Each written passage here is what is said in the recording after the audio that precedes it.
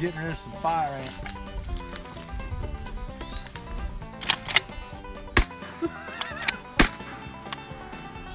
One more again.